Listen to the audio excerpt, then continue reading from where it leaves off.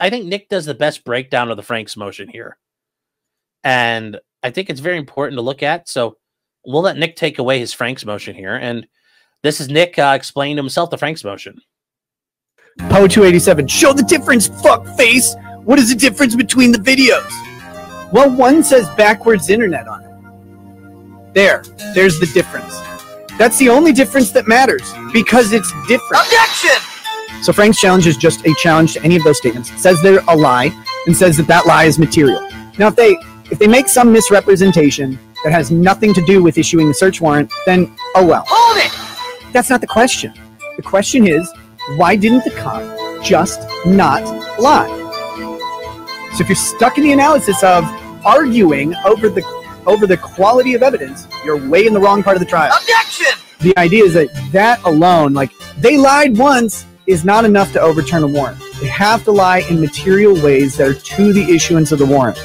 And that's what Franks challenge is for. Hold it! Well, one says backwards internet on it. There, there's the difference. Objection! But did it did it if they change that, if they get rid of that line, does a search warrant still issue? If so, eh, Objection! you're not in the right spot. And I'm sorry that practicing lawyers have misled you into the wrong analysis by not being competent at what they talk about. But they have. They have misled you. They have let you down. They have done so to extract money from you. Now, yes. And before you guys go any further, this is by third world YouTuber. Uh, just wanted to give him credit for what he did. It's a very, it's very well done. That was a very brilliant synopsis of everything that occurred.